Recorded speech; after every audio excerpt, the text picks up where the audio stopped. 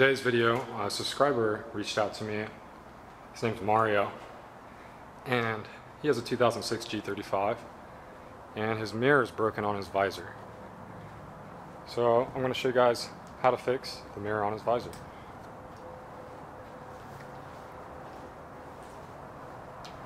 Here we go. So we're going to remove this visor and install a new one.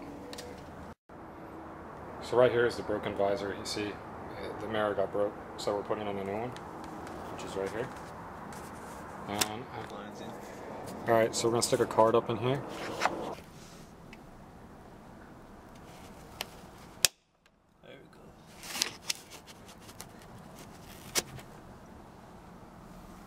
And here's the bottom half of it.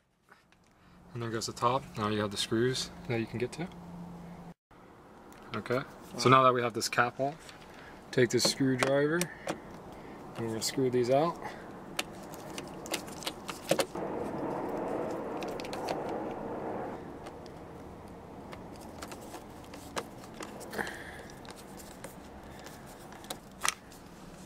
Okay. Clip behind it. And then there's a clip back here behind this.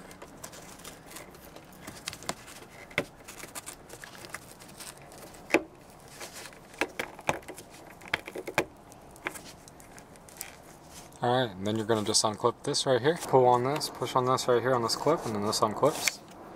And we're going to take this out. Now you're going to stick in the new visor. So you're just going to push on this clip right here, like that. And we're going to tuck it back in away,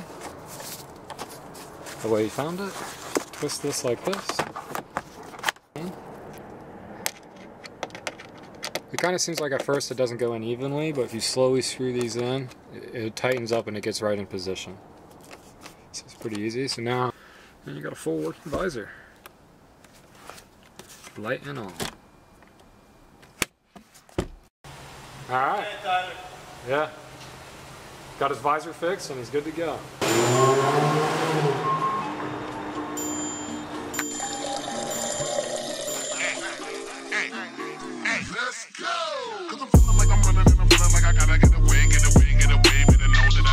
damn.